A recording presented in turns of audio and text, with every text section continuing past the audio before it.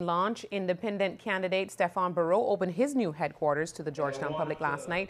The former Port Authority chairman addressed a crowd of around 100 people at the Village complex off Dr. Roy's Drive. Mr. Baraud, a former high-ranking member of the UDP, says that the time for independence is now.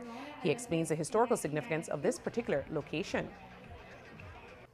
So it's almost formalizing the start of my campaign, opening the office, which is very important.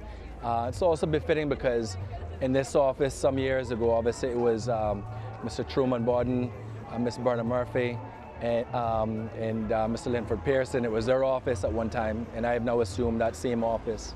So it's uh, kind of historic, if you will. Mr. Baraud says small businesses and education are two of the major issues he will tackle if successful in winning one of the six George Town seats.